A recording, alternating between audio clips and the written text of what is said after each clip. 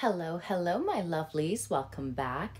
There is no way you can convince me that raggedy scallywag who calls herself the Duchess of Sussex isn't paying attention to my content.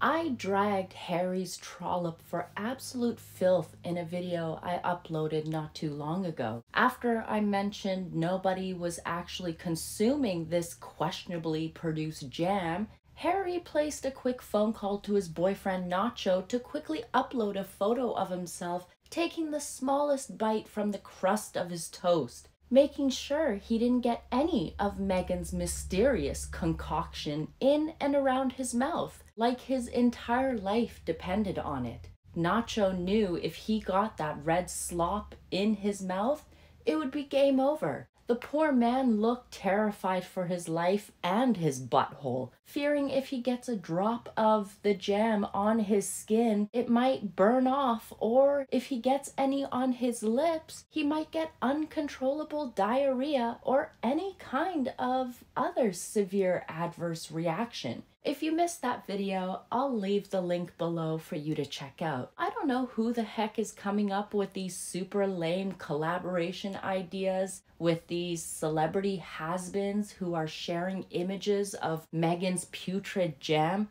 Well, there's a good chance I know who's coming up with these lame ideas. Never did I imagine the woman who is marred by bullying allegations and allegations of being a complete menace to palace staff and those around her. We saw her behavior on full display recently at a Sentebale event, and there's a huge push for the palace to release the bullying reports on Meghan Markle. You would think the last person this self proclaimed very smart nerd would collaborate with is none other than cyber bully and author of hundreds and thousands of now deleted tweets, which were highly sexually explicit in nature towards underage children that would make a normal grown adult throw up. I'm sure you know the woman who has a face like a bloated chipmunk that's been smacked with a frying pan. No, you don't know who I'm talking about? Chrissy Teigen. If you don't believe me about Chrissy's previous tweets, well, the internet is forever, and I suggest you go and search Chrissy Teigen, Toddlers and Tiaras. Make sure you have a barf bucket close by because it is absolutely perverted, and her thoughts towards children were so disgusting, it will make your skin crawl. This is the same Chrissy Teigen who, at her big age, sent harassing messages to 16 year old Courtney Stodden, who was dealing with her own mental health issues at the time. Well, what did Chrissy do? Chrissy told this 16 year old to take a dirt nap. And if you don't know what that means, basically, Chrissy told a mentally unstable teenager to unalive herself. When Chrissy started receiving well deserved backlash, guess what? She became the victim. She was depressed because people were bullying her. Boo hoo. Who gives a flying fig,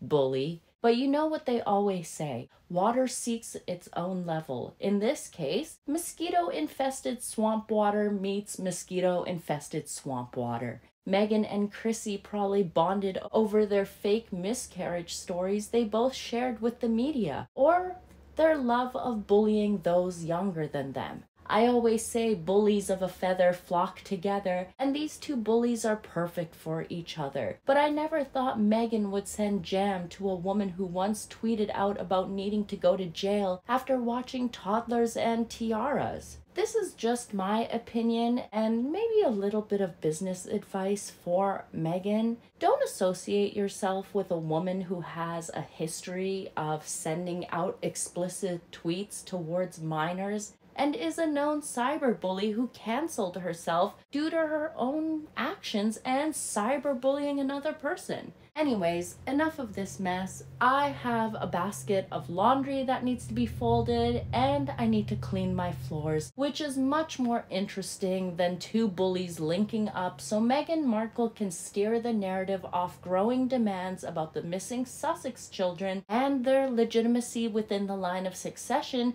due to Meghan's own behavior while wearing fake moon bumps. And let's not forget Harry's visa dilemma. All of this jam nonsense is to try and steer our attention away from what we should be paying attention to. But, anyways, my friends, let me know what you think in the comments below, and I will catch you in the next one. Thanks for tuning in. Stay gorgeous, my lovelies. Take care. Bye.